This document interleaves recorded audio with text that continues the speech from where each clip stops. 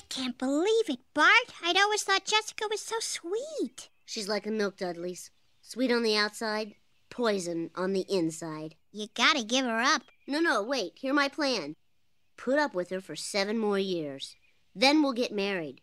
Once the first baby comes along, she's bound to settle down and start treating me right. After all, I deserve it. Bart, it's naive to think you can change a person. Except maybe that boy who works in the library. Do you have Go Dog Go? That's in juvenile. This is young adult. Well read and just a little wild.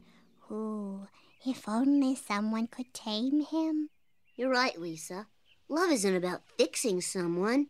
I'm just gonna give her up cold turkey. I'm not gonna talk to her or see her. It's over. Thanks for the advice, sis. Mm.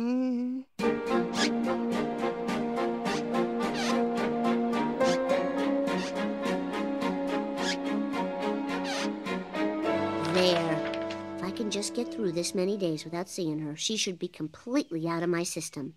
Okay. Day one. Time for church, Bart.